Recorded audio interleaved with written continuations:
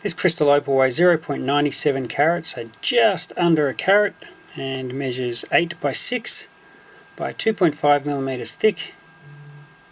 It's an N5 with a brightness of 3 and a medium dome. And has very nice play of colour. I think this would make a nice ring stone.